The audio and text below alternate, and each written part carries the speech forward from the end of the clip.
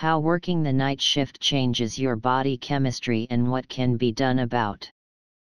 The news will be unwelcome for millions of people, but there are things they can do to mitigate the ill effects. For those who work the night shift, becoming nocturnal changes them. Their sleeping habits are disrupted, their social lives are altered, and time slowly begins to lose all sense of meaning. Of course, that's all just psychological, right? After all, they're still sleeping 8 hours a day, and eating 3 square meals, so how much does it really matter? According to a new study, a lot. The study is the first of its kind and was conducted by researchers at the University of Colorado at Boulder. It claims that staying awake at night and sleeping during the day even just for a few days can actually alter one's blood chemistry.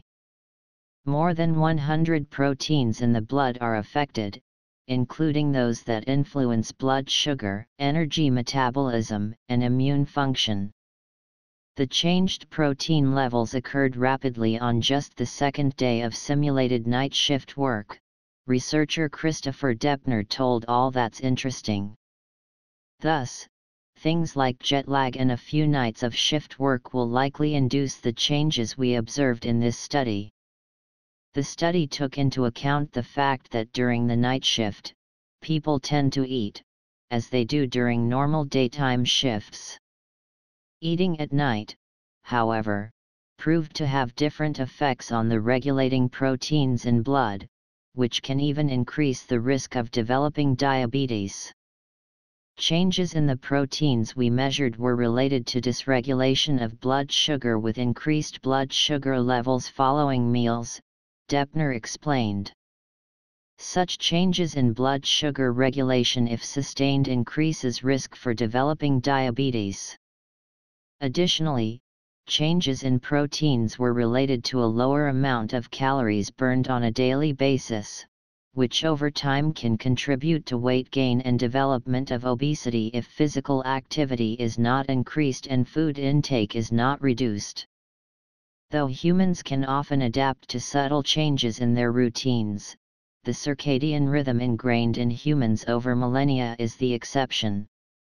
Due to that, even night shift workers who spend years working overnight will never quite adapt to it, and therefore will not adapt to the changes in their blood proteins. The circadian clocks of most shift workers do not adapt to working the night shift, said Depner. On days off, many night shift workers revert back to daytime activities and nighttime sleep to spend time with friends and family it is unknown whether the altered physiology and protein patterns we observed will adapt, and future research is needed in actual night shift workers. We do know that shift workers are at increased risk of metabolic disorders, so if any adaptation occurs, it does not appear to reduce long-term health problems. So what's a night shift worker to do? According to the study, there are some steps they can take if they want to attempt to stay healthy. Increasing exercise, and attempting to achieve deep sleep during off hours can offset the negative effects of a disrupted cycle, as well as eating healthy.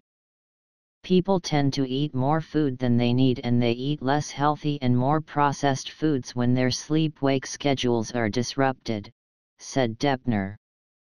Focus on healthy food options like fruits and vegetables and being physically active on a daily basis.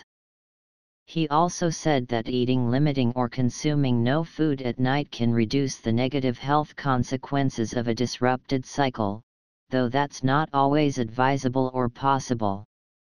And, he added, it's not all about food. We also know some of the changes are due to the shifted sleep-wake cycle specifically and the desynchronization that occurred between the environmental light-dark cycle and the participants' internal biological clocks, he said. Additionally, Depner encouraged getting ample sleep during the daytime with the assistance of blackout curtains, improved bedroom environment, and when necessary, Some good old fashioned naps.